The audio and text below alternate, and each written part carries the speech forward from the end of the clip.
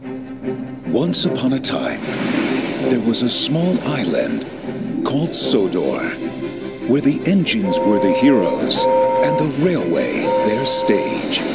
Hit Entertainment invites you to go back to where the adventure began. And who are you? I'm Thomas.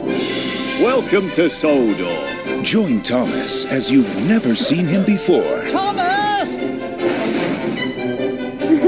Oops, sorry. And discover how everyone's favorite engine became the world's number one. Now, it's full steam ahead This is an emergency! in the journey to become a hero. Thomas, be careful!